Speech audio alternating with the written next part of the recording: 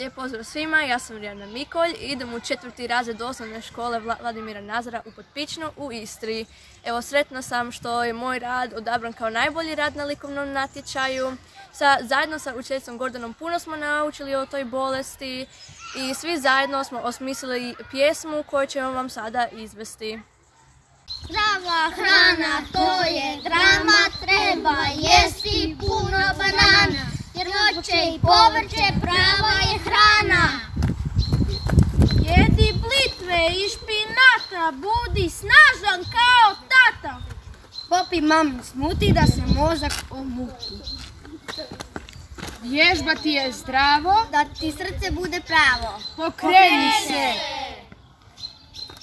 Smijeh je najbolji lijek, on mi daje imunitet. Daj mi pet, pokreni se!